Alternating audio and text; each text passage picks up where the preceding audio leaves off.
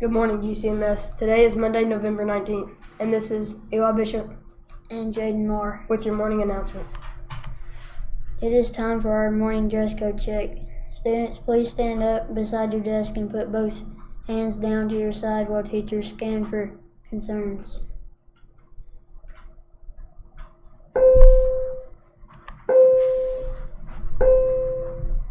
Please join us in our Pledge of Allegiance.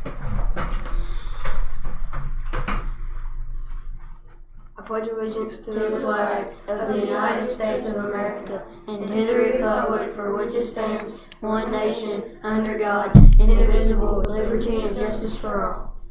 Thank you. Please be seated. Happy birthday today to GCMS is starting a math MATHCOUNTS team. If you like math, like competition, like winning, like winning money, MATHCOUNTS is for you. Practices will be starting soon. See Miss Mrs. Tucker or this sheet outside her door across from the library as soon as possible. If you are missing electronic items, game controllers, a personal book, not a library book, pencil cases, etc., etc., please stop by the office to see if we have your lost item. The boys basketball teams have two home games this week, today and tomorrow. Students and staff are invited to come out and support the Dragons. Volleyball tryouts Monday, November 19th, 2:30 to 4:15. Tryouts Tuesday, November 20th, 2:30 to 4:15. You must have a sports physical on file to participate in open gym and tryouts. Permission forms are permission forms and physical forms are available in the office. Eighth graders, don't forget to turn in your baby pictures to Mrs. Bradshaw. You can airdrop them, you can turn them into her, or send them to her on email.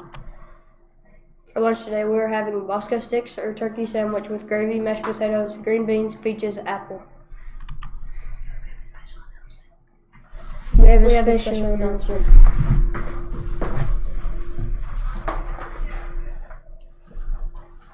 Mr. Taylor's Class 1 closet cleanup.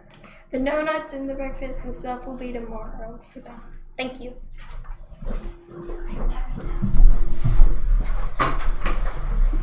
That academic team match for today is canceled. Sixth grade will practice until 4:30. Our quote, our quote for today is If a fellow isn't thankful for what he, he's got, he isn't likely to be thankful for what he's going to get. Remember to be responsible, be respectful, and be ready to learn today. Let's make let's make today a great day at Green County Middle School.